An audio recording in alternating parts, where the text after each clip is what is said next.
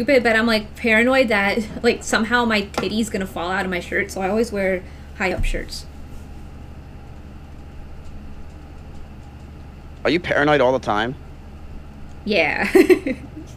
yeah. It's better on the Adderall though. But I, I don't really take Adderall unless